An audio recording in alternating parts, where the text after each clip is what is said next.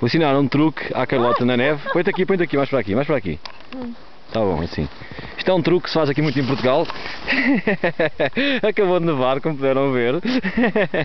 Espera que eu vou pôr o vídeo.